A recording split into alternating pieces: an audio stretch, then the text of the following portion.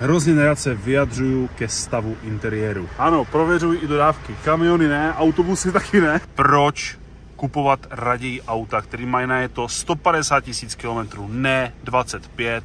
Ahoj, zdraví vás Matěj Horňák z výběrových aut. Já vás vítám u dalšího videa. Jak jinak, zase ojetý auto, Německo a dneska si ukážeme něco takového trošku pracovního a myslím si, že zase trošku z jiného soudku. Tak jdeme na to.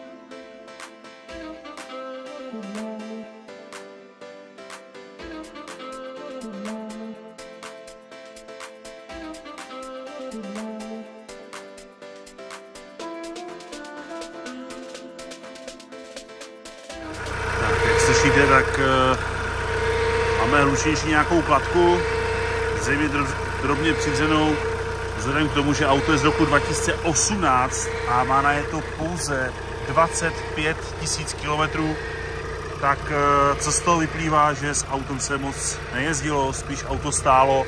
A to jsou takové ty typické projevy, když vám říkám, že není úplně dobrý mít auto, který má malý nájezd za dlouhou dobu, tak to je přesně ten projev, Eh, o kterém vždycky mluvím. Já vím, já vím, je to jenom dodávka. Spousta z vás se mě ptá, jestli dělám dodávky, tak to vidíte. Ano, prověřuji i dodávky. Kamiony ne, autobusy taky ne. Autobusy jsem jenom řídil. Eh, teďka projíždíme diagnostiku, auto jsem si základně oměřil, eh, celý auto má původní hodnoty laku na dílech, které jsou samozřejmě měřitelné. Eh, pneumatiky odpovídají nájezdu, nějaké drobné kosmetické vary, určitě si je ukážeme. Hlavně co klasika, prostě mech, všude možně, vzhledem k tomu nájezdu. Nechci si opakovat, ale samozřejmě to ještě minimálně 3x, 4x v tom videu řeknu.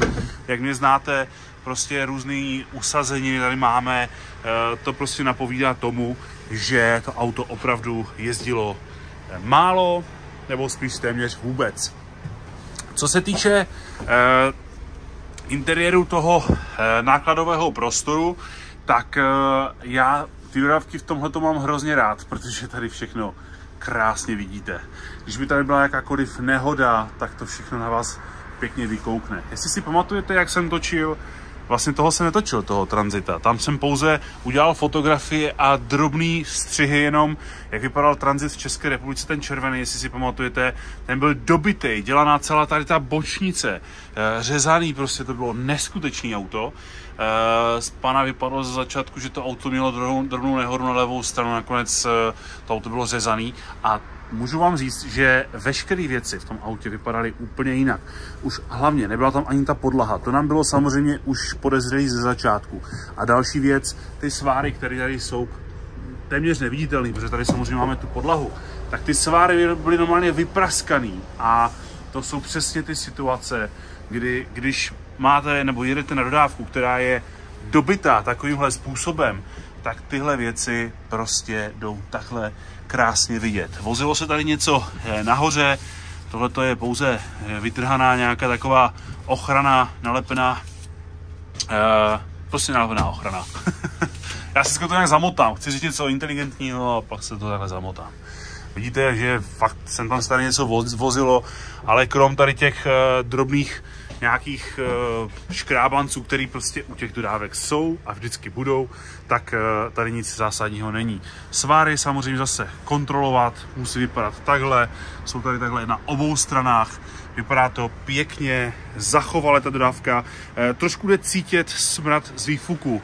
Zase je to další z poznatků toho, že auto dlouho stojí, po pojížděčky na bazaru, STK, jo, různé věci, to jsou přesně ty známky, proč takhle ten eh, výfuk smrdí. Není to kvůli toho, že by nefungovalo DPF, i když samozřejmě to si taky zkontrolujeme, ale spíš je to právě kvůli toho, že to auto fakt stojí. Fujte, smrdí, z toho máš štípou oči. Uh, co se týče kosmetických vád, tak jsem vám něco ukazoval, ještě nějaký drobný odřeniny uh, na dveřích, prostě zase nějaký nákladací nenakladací, ale otvírací, eh, jo, tady kolem toho otvírání poškrábaný, ale je to dodávka.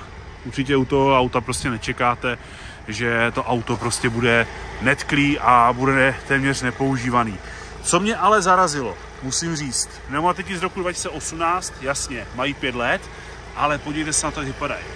Jako odporný, odporný. Zadky jsou krásný, ale tyhle přední pneumatiky normálně přijde, kdyby nebyly z tohle auta, protože samozřejmě používají se zde zátěžové pneumatiky, které vydrží mnohem déle než jakékoliv pneumatiky na osobních autech. Ty pneumatiky jsou mrtvé, jsou tvrdé úplně, řekl bych eh, v tomhle počasí, kdy v Německu máme sníh, tak jsou i nebezpečné. Uh, kladka na motoru se neuklidnila, tam bude nejspíš prostě potřeba se to auto trošku rozjezdit a nebo prostě bude potřeba vyměnit světlomet, jeden s rokem výroby, druhý bez roku výroby, ale e, zase vydám to u těch aut. Jinak auto je téměř za 3 čtvrtě milionu. Pod kapotou máme dvoulitrový nástavový TDCičko, klasika, ale pozor, pouze ze 77 kW. Musím podotýkat to, že když to auto pořádně naložíte, tak těch 77 kW je prostě málo. Je to fakt eh, pro klidný jezdce, žádný lítání a hlavně jezdit s tím fakt nějak rozumně, ať ten motor, neříkám, že ho úplně utavíte, ale prostě znám to hlavně třeba z té pětek, když mají tenhle ten výkon, že prostě to auto s tím výkonem fakt prostě nejede. Vím, že vás učím, abyste si všímali maličkostí, detailů a podobně, ale e, sami vidíte, tady máte prach pod, pod lakem, teď to jde vidět hezký detailu a ten prach je původní.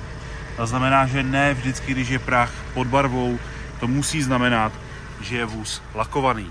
Tak posledním škrábancem, abych nezapomněl, zadní část nebo pravá část zadního nárazníku a vůz byl tím způsobem rozlešťován, máme tam nějaké ještě zbytky po pastě.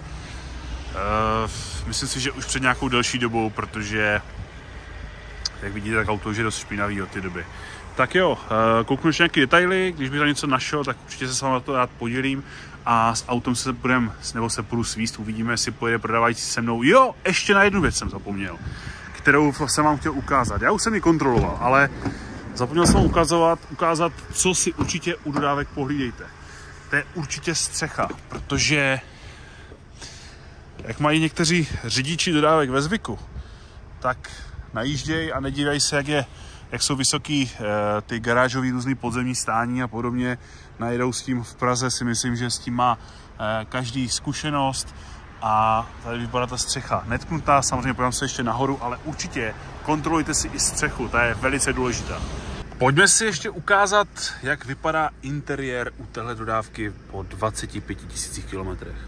Jako asi bych čekal trošku lepší stav, jde vidět, že s tím autem si jezdili krátké trasy, protože opravdu se to auto používalo. Když se na ten volant, jo, hrozně nerad, to vám chci říct a upozornit na to, hrozně nerad se vyjadřuju ke stavu interiéru. Když je volant, takový ty radoví odborníci, když je volant ošánej, určitě auto stočený, prosím vás. Ne, není to tak. Je to čistě o tom, v jakém režimu se to auto používalo, jaký kdo má pod, kdo jak s tím jezdil, jak se o to auto staral. No prostě je to individuální, vůbec to není o nájezdu jo, takový ty fora, že je napsaný všude, jak ten interiér má vypadat, v jakých kilometrech, to je prostě nesmysl. Jo? Tak kdybych vám řekl, že ve 30 letech máte vypadat takhle, takhle, to je prostě blbost, že Každý je individuální a ten interiér prostě taky.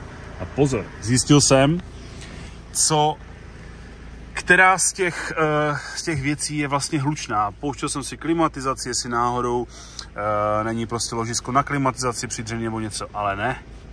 Víte, co je špatně? Slyšíte to? Posilovač řízení. Dámy a pánové, v 25 tisících kilometrech je tady špatný posilovač řízení. To je přesně ten důvod, proč kupovat raději auta, který mají na je to 150 tisíc kilometrů, ne 25, protože když to auto nejezdí, tak přesně tyhle ty věci se dějí. Ještě jsem vás chtěl poprosit. Eh, děkuji moc za to, že sledujete moje videa. Děkuji za to, že to sdílíte, že to máte rádi. Já jsem moc rád že to takhle je. Ale prosím, ty videa netočím proto, aby, uh, nebo lidi, lidi někteří, mám takový klienty, klienty ne, ale on takový, nebo no, i vlastně klienty, kteří si koupili auto a řeknou, pane Horňák, já jsem si podle vašeho videa prověřil auto, koupil jsem si ho a je tam něco špatně. Prosím vás, to, co tam říkám, tady, co říkám v těch videích, to jsou jenom zlomek věcí, které já dělám. Proto, abyste si důkladně prověřili auto, na to potřebujete roky praxe, mít nějaký základní znalosti a musíte ty auta prostě znát, musíte vědět, kam se podívat, na co sáhnout. Jako to, že uvidíte má videa, nastudujete si to, ještě neznamená, že vždycky koupíte dobrou ojetinu.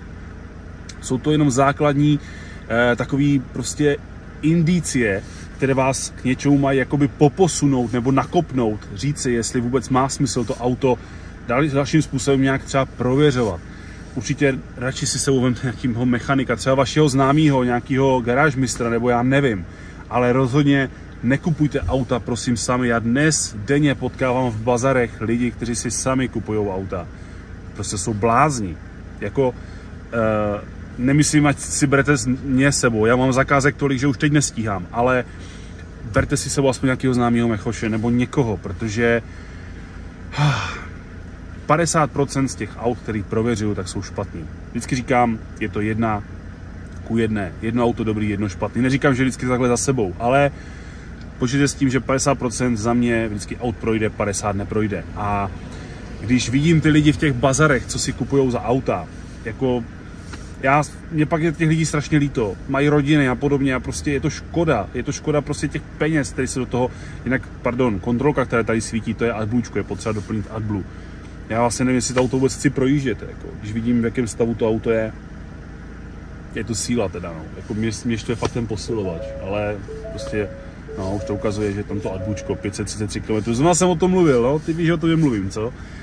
Ne, uh, chtěl jsem se ještě vrátit k tomu, prosím, uh, prověřovat auta, jo, videa sledujte, jsem za to fakt moc rád. Děkuju za to, proto to dělám, abyste se nenachytali, abyste nekoupili špatný auta, ale je potřeba k tomu mít fakt zkušenosti a vidět, kam se podívat. I s tou lakoměrkou prostě, není to jenom o tom si koupit lakoměrku, je to o tom tu lakoměrku umět používat, prosím. Opravdu. Takže já jdu dál pokračovat prověrce, už jsem si zase vylil srdce a dneska jsem v Německu sám, já vím, je to, je to tady nějaký tichý, že bez, bez Aničky, bez Ondry, nemám si z koho dělat srandu, tak je to trošku nuda. Ale zase aspoň se snažím tady dát trošku víc těch informací, abyste zase o něco byli chytřejší. Jak vidíte, tak ten interiér opravdu po 25 000 kilometrech nevypadá na to, že to auto je nový. To znamená, neřešte tolik nájezd. Klidně takhle může vypadat interiér auta, který má najeto dvakrát, třikrát, čtyřikrát víc než tenhle ten kousek. Jo? Vidíte, že fakt tady těch prostě dentů je tady prostě víc a jo, prostě ani pořádně vyčištěný to není, nevím. No. Určitě mnoho z vás pozorných si všimlo, že přední nárazník má tak trošku jiný odstín než uh, ten blatník. Za mě určitě ten nárazník lakovaný byl, já si ho samozřejmě nezměřím, je to prostě plast, ale rozhodně to bylo řešené. Ještě jenom, abych vám ukázal, jste viděli tu spáru, že jak na jedné, tak na druhé straně je úplně stejná, že tady vlastně nic dělaného nebylo, je to čistě o tom předním nárazníku. Tak už jsem přišel, proč nám to servo tolik dřeve. Podívejte se, minimální hodnota oleje, kolik tady má být a podívejte se, je až tady dole. Samozřejmě nějaký olej tam je, asi by to takhle úplně hlučný být nemělo, Myslím si, že minimálně tam bude nějaká netěsnost. Samozřejmě koukneme ze sporu na to auto, jak se to bude chovat. Ale jsem zvědavý, jestli uh, ten hluk se zmírí, anebo jestli zůstane. Já se tak trošku bojím, že úplně to nezmizí. No. Já jsem nechtěl dělat ještě chytrýho, ale když se podíváte, tak tady v té spodní části expanzní nádrže je ta chladící kapalina normální. A podívejte se, jak vypadá ve vrchní části. Když se podíváme dovnitř, takhle fakt nemá vypadat chladicí kapalina u auta po 25 tisících kilometrech. Ach jo, ach jo. Vidíte sami? Víte co? Klient mi řekl v telefonu, když mě jsem posílal, počkejte, já si to musím tak přendat. Víte, co mi říkal klient z telefonu, když mě jsem posílal? Pane Hodňák, to skoro nemusíte kontrolovat, to je nový auto. Vidíte to, po pěti letech 25. Já to furt opakuju, já vím, je to strašný. Kouknu se ještě do ty nádrže, od toho serva Ale já si myslím, že teďka asi už je úplně jasný, jako jak to dopadlo, no. nebo jak to dopadne. Já myslím, že to úplně nedává smysl to auto. No. Mám po telefonátu s klientem a co myslíte? Co mi klient řekl? No, klient řekl, že ať se rozhodnu já, že jsem na místě, což jako samozřejmě slyším velice rád. samozřejmě ironicky. Ale dohodli jsme se, že radši půjdeme do něčeho jiného, protože tohle fakt nedává smysl. Eh, teda přislíbili, že to servo vyřešej, dolili olej a stejně to nepomohlo, to bylo jasný, to, to čerpadlo už je prostě přidřený. Zároveň co, tak eh, že pořešej i tu chladicí kapalinu, ale jako vzhledem k tomu, jak to auto vypadá po 25 tisících kilometrech, kdy eh, já si myslím, že v těchto kilometrech, já jsem pána poprosil, aby si fakt našel něco prostě s vyšším nájezdem, protože fakt toho nedává smysl. Tak uvidíme, s čím pan přijde. Máme nějaký ještě další kousky, nebo říká, že má ještě něco dalšího, tak uvidíme a já se těším a doufám, že ty další auta budou trošku rozumnější. Každopádně já tady končím, vracím se zpátky do České republiky. Eh, další auto nemám, je to poměrně blízko za hranicema, takže jsem si tady odskočil. A jinak děkuji moc za to, že mě sledujete, děkuji za to, že mě kladně komentujete. Samozřejmě můžete i záporně, já mám rád kritiku, ale rozumnou kritiku. Prosím vás to, že vypadám blbě, nebo že já nevím, eh, já, že řeknu nějaký slovo čtyřikrát, pětkrát v tady v tom, je to pro mě těžký. Já nejsem řečník, já nejsem prostě herec, eh, pro mě tohle to není úplně přirozený, snažím se, aby to bylo příjemný, ale vždycky mi to úplně nejde. Takže trošku trpělivosti se mnou a zároveň chci vám moc poděkovat za všechny ty krásné komentáře, co mi píšete, za to, že mě sledujete, za to, že mě odebíráte, protože eh, děkuji, že máme 30 tisíc odběratelů, je to nádherný, já jsem si v životě nemyslel, že tolik odběratelů, odběratelů mít budu, takže děkuji za to, hlavně se opatrujte, kupujte dobrá auta, pořádně je kontrolujte, protože život je příliš krátký na to, abychom jezdili ve špatných autech. Ahoj.